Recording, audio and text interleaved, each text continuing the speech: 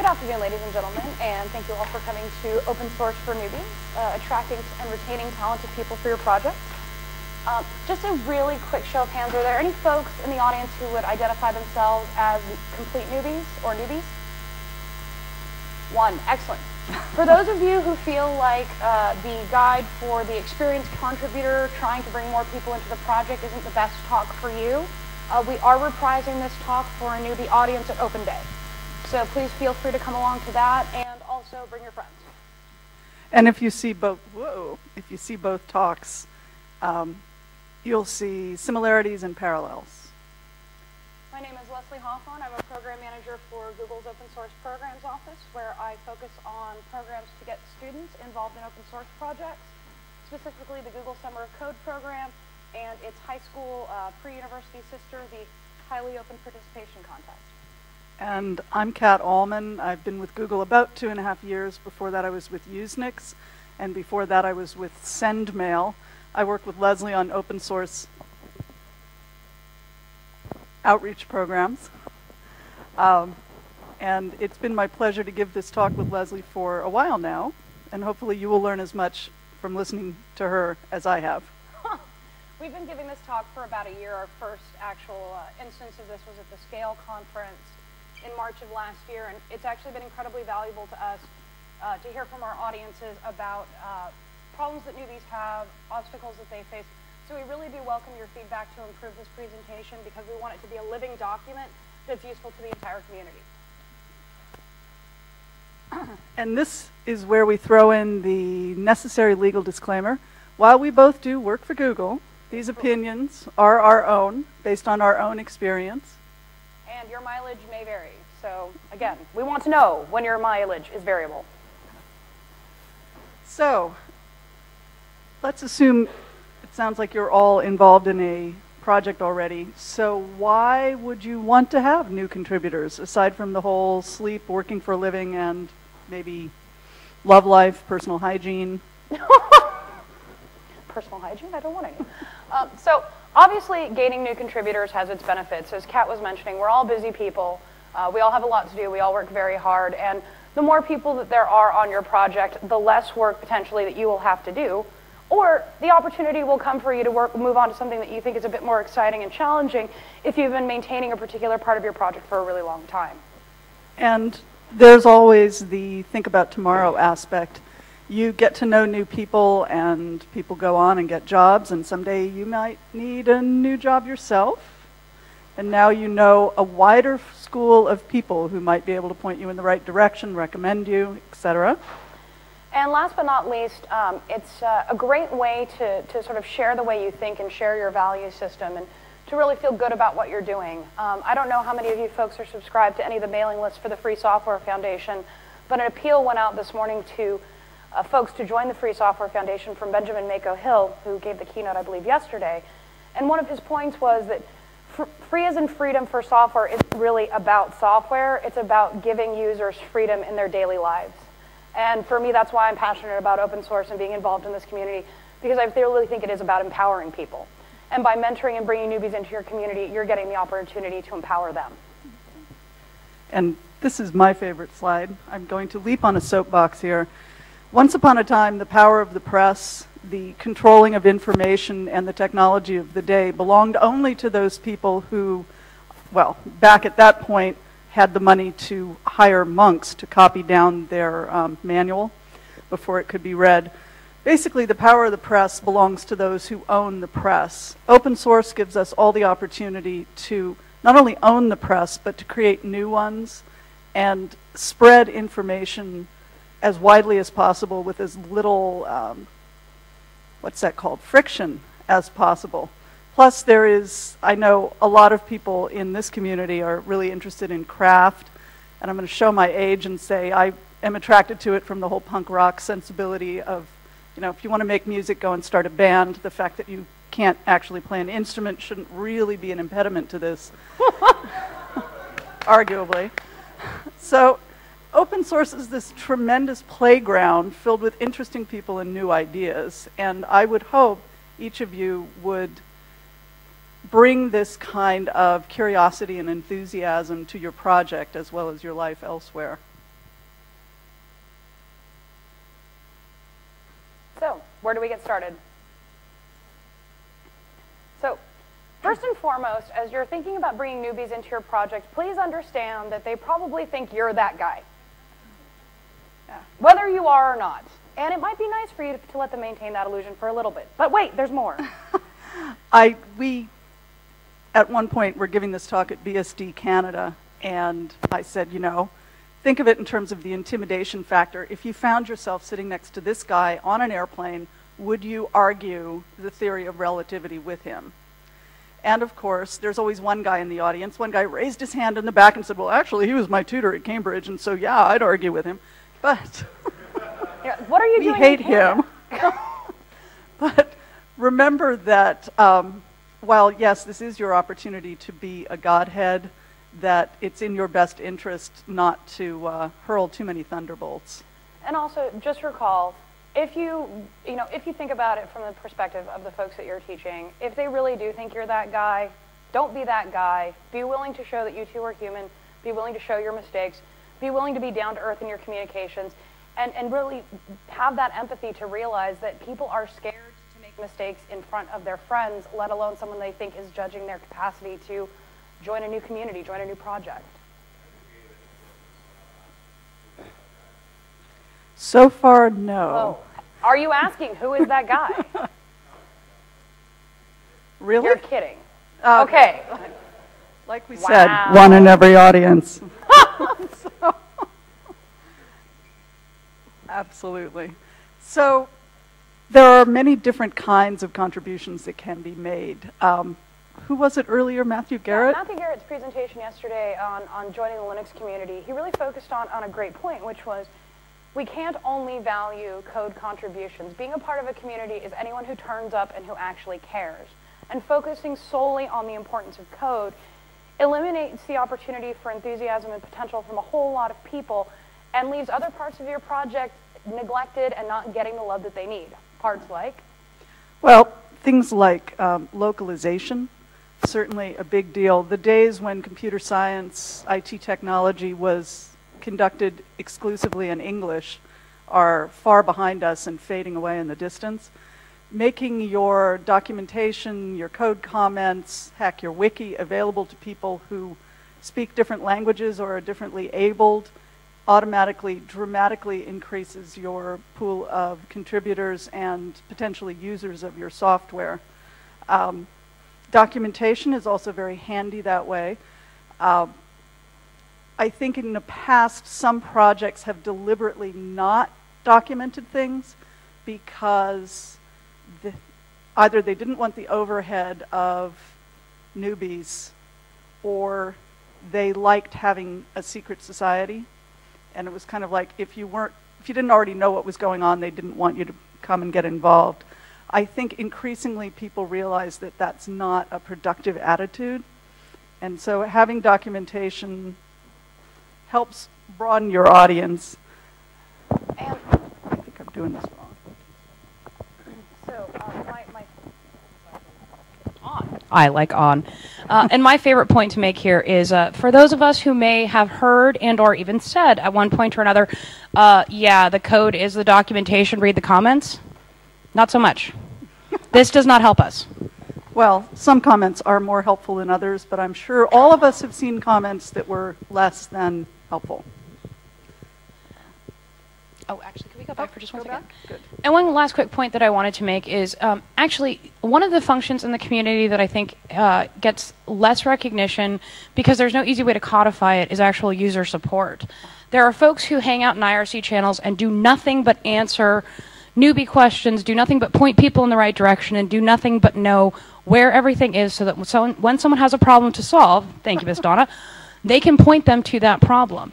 And that is a huge, huge place where newbies can be helpful because they're answering the questions that they themselves just had.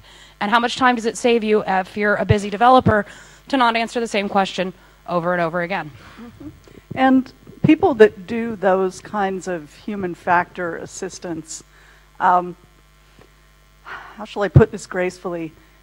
Don't make that a place to stick people you don't think are actually that productive because it is an important function and it does make a difference.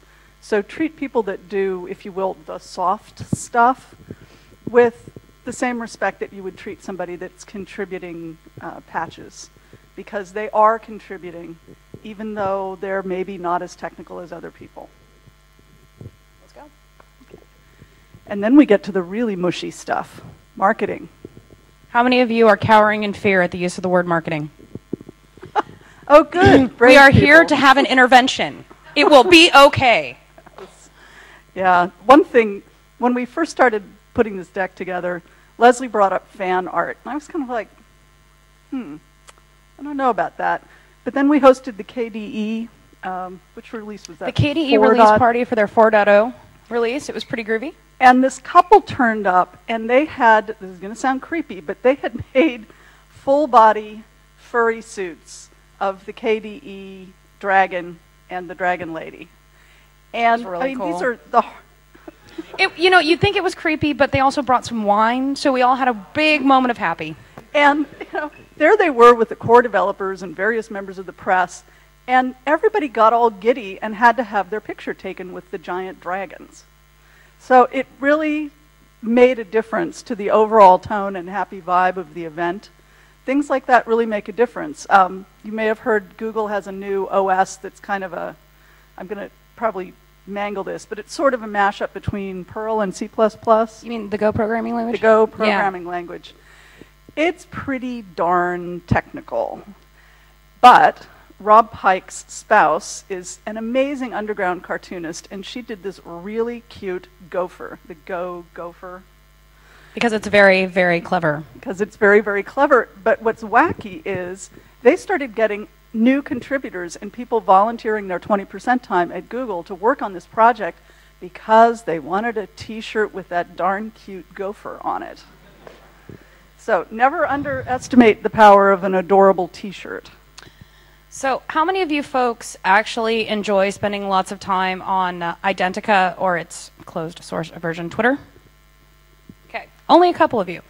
Believe it or not, there are an awful lot of people out there in the world who think that all of this wonderful, you know, social networking, microblogging, Facebooking, whatnot, not, not, not, is actually pretty cool. That may not be you, and that's okay. But recognize that this is an incredibly powerful outreach tool. Um, I actually use Identica to take notes from conference sessions, just so that I can go back and look at it later, but also so that other people can get the benefit of the sessions that they're not in. And just seeing where my notices are retweeted or other people are reading all over the world and knowing that those people are either getting more enthusiastic about open source in general or getting more enthusiastic about the community that I run, the Summer of Code program, is pretty powerful. And then fundraising. Um, I'm willing to bet that virtually no one in this room likes calling up strangers and asking them for money. Anybody want to disagree with me? Wow, we got one where no one wanted to agree. But fundraising, yes, it's open source, but we still need disk space, internet access, um, scholarships to come to great community events like LCA. There is a place for people who are interested in supporting the community by going out and supporting the community or finding other people, um, like the Google Open Source Programs Office, for example, to uh, provide financial support. And actually, e- even though fundraising sounds like a, a fairly thankless task and a scary, scary proposition, um, there's actually a lot of really cool, fun ways that you can think to do it. And, you know, this is where uh, the opportunity exists to go find someone who you know who may know nothing about code but is just really creative. And suddenly they come up with inspiration for a great contest that raises you a couple thousand dollars and get several of your contributors sent to your key developers conference, which has happened. And I think Leslie is the one that really should address the question of community management. Sometimes your community needs somebody to wrangle people so that you can write code and you don't have to talk to the lawyers and you don't have to worry about getting the checks cut and you don't have to do any of those other things that you don't want to do because they're less fun. Postage. So there you go. We can take care of this problem and your community managers can take care of this problem and I guarantee you that your community managers don't have to be coders because shown here actual size, we're not. So, oops, speak in the microphone, that's the first thing. Um, how to position your project so that you get the maximum possible pool of appropriate contributors. So make sure that you clearly upfront define your project's goals and also your non-goals. That way, when people come to approach you because they're excited about the idea of working with you, they know that this is the right place for them. And you've already weeded out uh, folks who are not quite where you're at or what you're about. My favorite story, do you mind? Along these lines is the. Subversion Project. So they decided, uh, the Subversion Revision Control System, they decided that the, when they started out that their mission was to be a compelling replacement for CVS. They documented this on their website, Life Was Good. A couple of months later, some dude turned up on their mailing list and was quite strident in insisting that they should just toss this whole subversion business right out the window and fix CVS. And they pointed him back to the mission statement saying they would like to replace CVS. But, but, but, but, but, point back to mission statement. But, but, but, but, but. Eventually he went away, and that might have been good for all concerned. But the fact is, you want to be really explicit about what your expectations are so that people can meet them. And that includes if you have um, social or political underpinnings behind your project. Um, put those out there. Um, Leslie's very involved with the Humanitarian FOSS project. They're very explicit about they want to generate free and open source software to support humanitarian programs. And you'll actually, I think, find that you're able to attract a wider pool of contributors when you articulate those kinds of social or political concerns, even if that's not the overt purpose of your project. So, for example, there was a huge surge in the number of people both using and contributing to Drupal after they did a, a marketing. Have we intervened enough yet? A marketing campaign to show everyone that Howard Dean, a, a particular US presidential candidate, was using Drupal for his website. And moving on, creating a community that your contributors are going to find comfortable. Communities, like any other group of people, have a personality. Any aggregate of beings comes together and influences how each other behaves. You might want to stop and think what kind of group of people you want to be. Some communities, um, gaming communities in many cases, thrive on being very aggro. They're, uh, they live on IRC and they're pretty hostile, take no prisoners, you know, no beating around the bush. Um, other communities are equally aggressive at being sensitive to one another's feelings, um, having profound care about not stepping on each other's feet, not being hierarchical, uh, being polite. Frankly, while I prefer something more towards the latter and less towards the former, it's okay to say, all right, I want to be able to be um, a hyper aggressive, expletive centric member of a community that supports that. Know that about yourself, put that out there so that if somebody gets involved a week later and gets wildly flamed, at least they won't be surprised. Absolutely. I mean, I think, um, you know, if you look at some of the uh, project mailing list. like the kernel mailing list is well known for being a bastion of flame fest, anger, you're an idiot, you're a moron, expletive deleted, expletive deleted. And while, you know, the folks in, who are already a part of the community know that, for people just coming in, it is a miserable experience that makes you never want to come back again.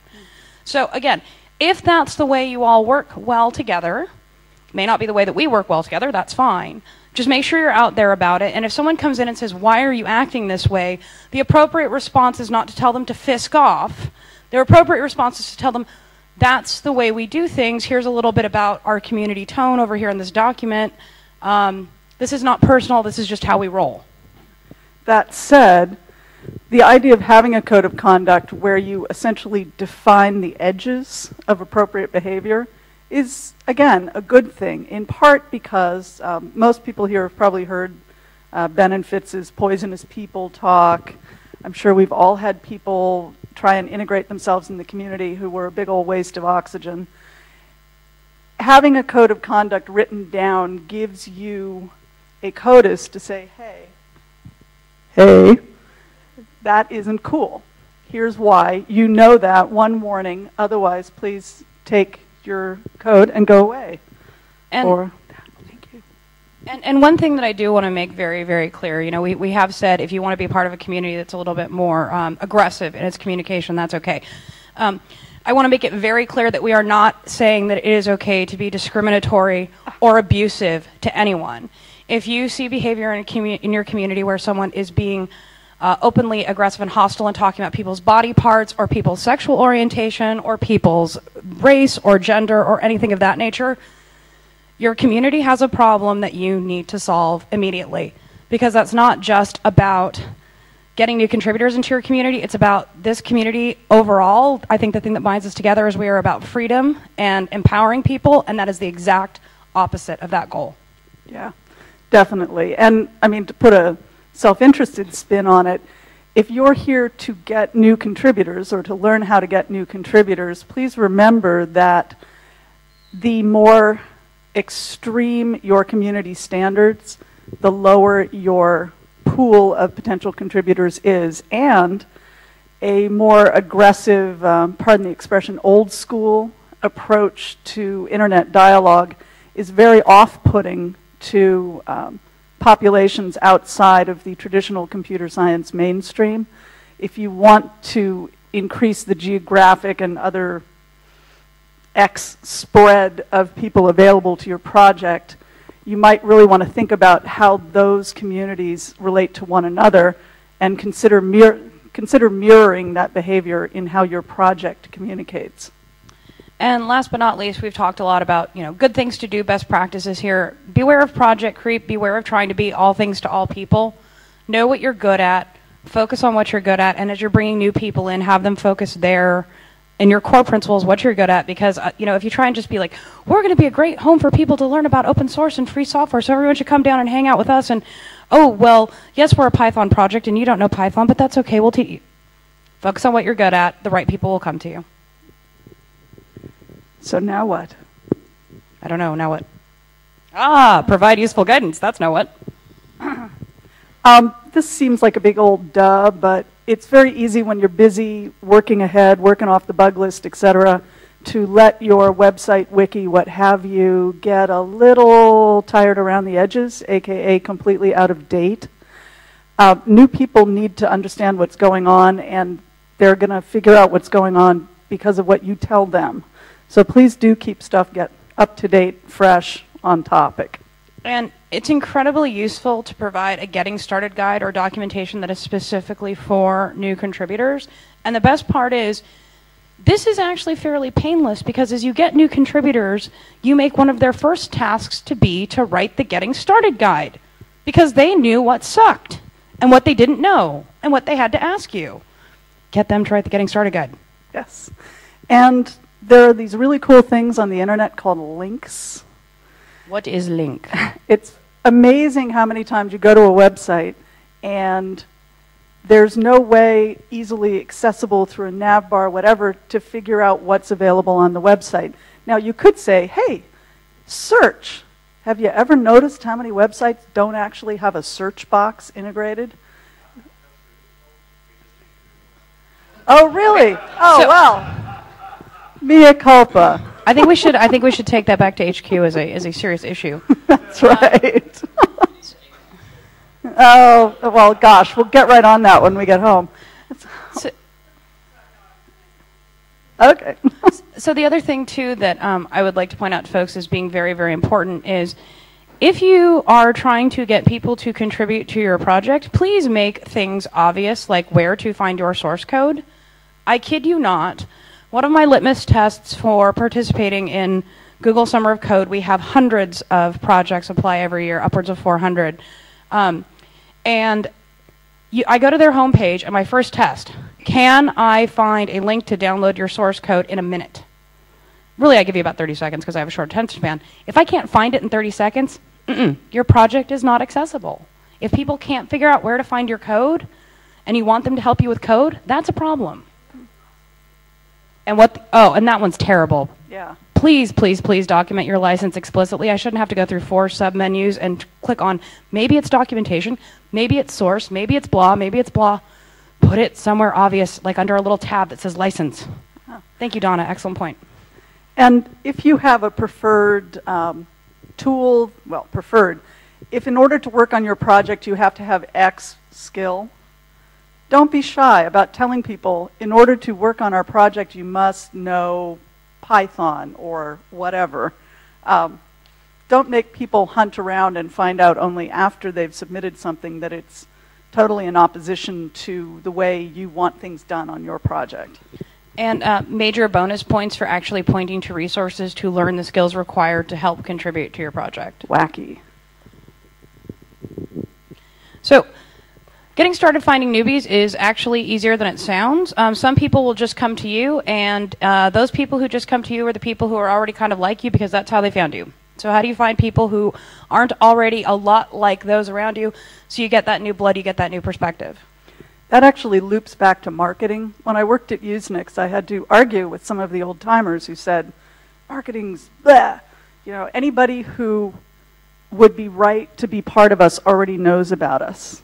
Now, aside, aside from the whole wildly illogical recursive aspects of that statement, don't think of it as pandering to people or trying to trick them or wasting your time. Think of it as if you value your project, you want to make it easy for other people to see why they would value your project too. So, one thing that I think is an incredibly uh, important part of bringing newbies into your project is actually your issue tracker. Um, some people actually go so far as to put absolutely everything in their issue tracker from we need new documentation on this topic. This documentation needs to be updated all the way along down to, you know, we need a new logo um, in addition to coding bugs. Um, you may or may not want to do that. But one thing that has been incredibly profoundly useful for a bunch of folks that I know is actually tagging stuff in their issue tracker as easy or getting started or newbie bug. Um, the GNOME folks, for example, have GNOME love bugs. So if you love GNOME, but you don't know what to do, grab a GNOME love bug and start working on that. And these are easy tasks that get people familiar with doing certain kinds of work in the code base. And then people get a sense of an immediate accomplishment because they do something that requires work but wasn't rocket science and didn't require them to understand five years worth of arcane, oh my god, I don't even know how that part works and stuff. If you have access to a teenager, either a, uh, a sibling, godchild, neighbor, whatever, um, sit them down, have them read through your website, and if they come away going, or um, basically think in terms of making your online presence a welcoming one to the kind of people you want. So, how do you know when you're busy trying to spend time on new contributors? How do you know who to spend time on? Because we have all been in the situation where someone comes along full of enthusiasm, less full of clue, and that's okay, because all of us lacked clue at one point, and yet they continue to be really, really enthusiastic, and then they never really do anything. And you kind of feel bad, right? You're like, wow, I wasted two hours trying to talk so and so in order to be able to fix this bug. Ouch. How do you recognize people who are actually going to follow through and get work done so that you can spend your precious time helping out those who will hopefully bear fruit? Um, we'll have a um, a pretty discouraging slide about this later, but we'll talk about the positive points here. Um, good potential contributors are ones who, big da, volunteer to help. Even better, they don't just have fabulous ideas about why your project should be done differently. No, they have actual useful suggestions that are on topic. And if they actually do some work, that's extra good. And also, don't underestimate the value of submitting a bug report and submitting a bug report properly and teaching someone actually how to do that. There are tons of FAQs on the net about how to write a good bug report. If your project has particular nuances, take the time to document those. Um, as my friend Joshua Gay puts it, it's actually work for someone to tell you that something sucks because they could have just gone away and never talked to you again. So, you know, if, if folks come along and they do file bug reports, one, good for them. Two, encourage them to do it. And three, if that's the only contribution from them you ever see, it's still an incredibly valuable contribution. So here are some basics. Um, you're welcome to link these from your site if you think it would be good. I know that I have been doing this for long enough that I forget once upon a time I didn't know how to behave on a mailing list. Um, but I would also argue that some people who've been doing it for a long time still don't know how to behave on a mailing list. So there are some basics here that we all might stand to refresh ourselves with. So, and, and the key here, takeaway that I think with this slide is to, is to set a good example. Um, and particularly around mailing list etiquette, newbies really suffer disproportionately from being told that they're behavior on a mailing list is not what it ought to be, and they get sometimes some pretty vituperative responses about that. And uh, my favorite thing to do, um, since there, you know, some of the mailing lists I'm on have more than like 8,000 people subscribed, someone will ask an RTFM question, and usually someone will immediately jump to tell them RTFM, which stinks.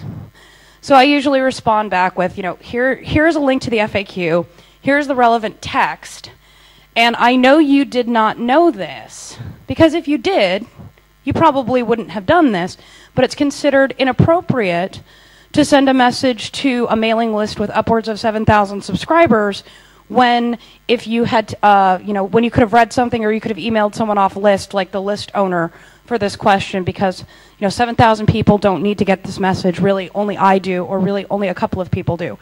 And immediately you see a behavior change. And you not only see a behavior change in that new contributor you see a behavior change in the kind of people who you know start flaming folks who just don't know any different or they wouldn't have done it that way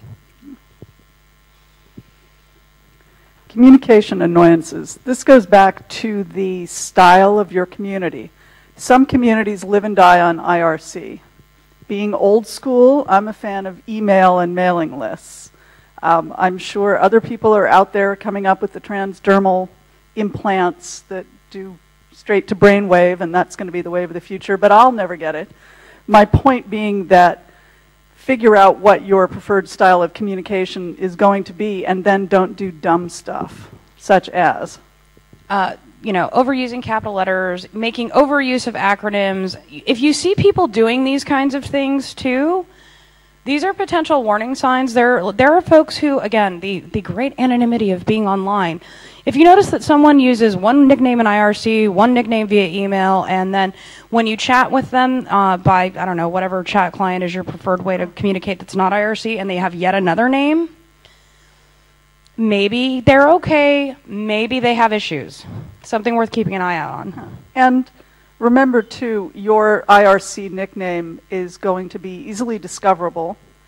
And so if one of your reasons for Love open office.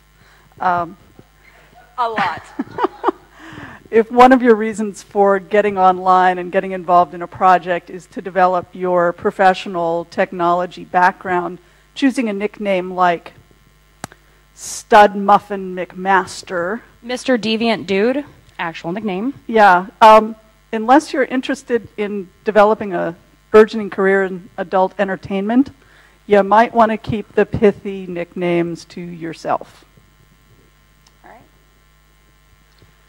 Ah, hazing is unproductive. Who here has gotten a nasty gram in the mail based on some question that you asked at one point in your life? Ms. Donna. Okay, a few hands creeping up here and there. It's very easy to send a message, hit send, and go on with your life, particularly in the heat of anger. Um, I think in a more social context, it's referred to as drunk dialing. Mm-hmm. But um, don't do that either. don't do that either. Yeah, but stop and think. Um, if when you started out in computers, people were really mean to you and verbally abusive and nasty and non-helpful, don't see that as a model to perpetuate, but rather see it as something not to do. And, and we're not suggesting. I mean, open source is very much a blunt world, right? But you get you get a patch in, and your entire purpose behind reviewing a patch is to tell someone what is wrong.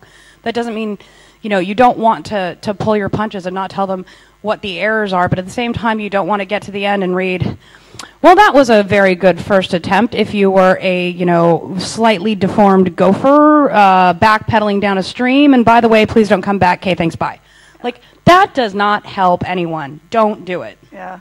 Matthew Garrett yesterday was talking about uh, uh, harsh profanity on mailing lists, and he used a euphemism which I can't repeat on tape, but. Uh, star, star, star, my star, star, star. yeah, actually, there were four stars in each instance. Spell it yourself. But um, we're not going to do profanity jeopardy here. That will be later after the talk. Of Fortune, sorry. Um, but then he followed on with the next slide showing that it was an actual quote of something that he had written himself some years ago. Um, we're all human, we all fly off the handle, but it's a good idea to try not to. Because it'll come back and bite you in the star, star, star. Uh-huh. So here we are talking about getting more contributors, getting more contributors. We have five minutes, so we'd better get on this. We are going faster now. Okay. Um, you don't necessarily want everybody who turns up and wants to help. So, um, really quickly, I have something that I call the rule of three. If someone comes and asks me a question that they could have looked up, I answer politely and point them in the right direction and actually paste the relevant detail. The second time, I send them a link. The third time, if they're still asking a question, I let them know that I really want to help them. Unfortunately, I don't have time right now. I think they can find their answer by searching. And if you get somebody who's a little bit rude with you about that, it also helps to point out they can find the answer by searching using only words in their email to you. Has happened. Um, and then there's the angry people. The world is filled with angry people. You don't want your project filled with those angry people because they make one angry. Uh, my personal favorite is the people who write into Summer of Code demanding details, and other members of the community say, read the FAQ, read the threads, and they're like, oh, that'll take too much time, just tell me. Uh, No. yeah. Let's see, failing to accept criticism well. Um, the people who just want to find a place to pick a fight clearly need to go away. Um, at some point, suck up your courage and tell people, look, this isn't working out, you need to go someplace else. So, aside from all the difficulties and all the myriad ways you can put your feet wrong, actually, as we all know, the world of open source is filled With kind, awesome people. Like these people, all of our Summer of Code mentors, and you know, you know, all of you, really, because you're awesome. Yeah. And we know like half of you. And the other half of you we should get to know over the next couple days. There's actually some uh, Kiwis and Aussies in this picture from a Summer of Code Mentor Summit. I suppose pointing at the screen isn't really going to help anybody, is it? No, They really not. are in there. Your friends are in this photo. Yeah, look for your friends in the photo. So, in summary, everyone was new once. Share your enthusiasm, share your knowledge. That enthusiasm is, is infectious. Remember how much you know. Uh, it's very easy to forget stuff you know. It's just so second nature. For example, if you see a string of letters and there's an at sign somewhere in there, you know it's an email address. But not everybody does. That's an actual example from my personal life. We will totally talk about that during the questions Yes. and enjoy because we're all here to have fun and get good stuff done. Yes. Some resources. Um, most of these are probably familiar to everyone in the audience, so I will go through them quickly. But this last one is fresh and new and shiny and exciting. So, uh, during the last uh, Summer of Code Mentor Summit, when we invite several of the folks who've actually helped to tutor our students uh, to visit Mountain View and hang out and hack for the weekend and get to know each other. Um, and if you want to know what that's like, you ask Sam at the back in the cool Kiwi Foo shirt.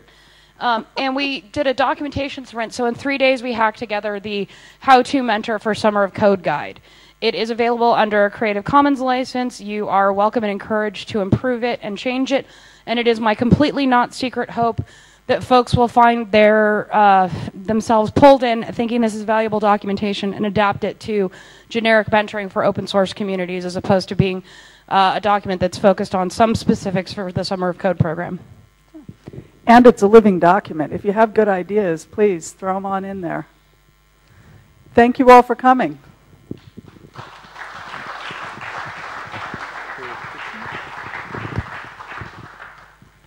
Any questions?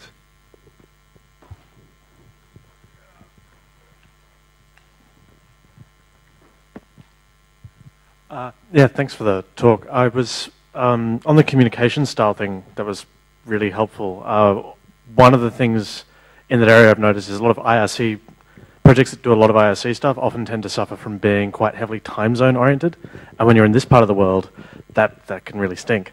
Uh, also, sometimes people say summer when they mean winter and all this sort of stuff. But um, do you have any ideas for how to handle that if you're a project and you're based in Europe or the States and you want to bring in Aussies or vice versa? And Kiwis? So I think that the real answer there is, as much as people like to talk to each other real time, and, and that's important, I think that there's a couple ways to do it. One, projects inevitably have to have meetings um, from time to time. Maybe your project has a weekly meeting, maybe it's monthly, maybe you're meeting about a particular release. Have that meeting at a time that is inconvenient for most of the contributors. Seriously. Um, and those who are the ones who are most active in the project, if you're really focused on getting new people into the project, that's a sacrifice that you need to make. Uh, because if you're missing out on great talented folks because they happen to be offset from you by you know 12 hours, that sucks. Don't do it. The other thing is, you know, most open source projects that I know live and die by IRC. I think that's great for solving problems real time. Make your development discussions happen on your mailing list because no one's going to read through a chat log where, oh look, it's the coolest new lolcat, and you know, da da da da, and you know, 20 minutes through, you're actually talking about a technical point um, although I too like lolcats. So, uh, and if you are one of those folks who is in a project where you live and die by your IRC chats, and you've just had an important discussion, take it upon yourself to send a summary of that discussion to the mailing list and link to the IRC log so that folks can read it. Because otherwise, people who come along and are trying to get more data are going to have no idea where to go or even that there is data to get.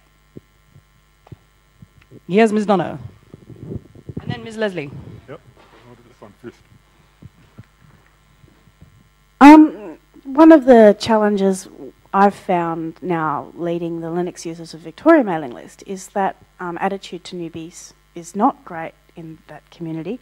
How do you actually? I actually really liked your three steps of you know you get a question that the answer is RTFM, but take that three-step approach. Um, more, give me more on that. You know, reversing a culture which has clearly gone bad, but paying attention to the fact that, hey, maybe this culture wants to be that way? Um, the way I like to do it, because I do interact with a bunch of younger people, mostly men, who are in college and who are really smart and want the whole world to know how smart they are by answering, you know, this is a stupid question. Because, folks, that really shows how smart you are, just so you know. Um, I ignore rude responses like they didn't even exist. I don't reply to those replies. I reply to the original question, which is a tacit way of saying your response does not matter because it was inappropriate. Um, and the other thing that I do is if there are positive responses in the thread, maybe they're not quite the right response, but there are positively oriented responses, I start off my response by thanking that person for their helpful suggestion. So positive reinforcement. The other one that I've been struggling with is uh, I tend to ignore the most of the conversation, but every now and again someone comes in and goes, Mom, he was mean to me. And I tell them, guys, you're grown ups. Don't ask me to adjudicate. And then I get even more crap. So that's been a challenge for me as a community leader. Um, I think it, so. When I've had the mom moment a couple times. Um, do you want to say anything about the mom moment, or shall I pontificate?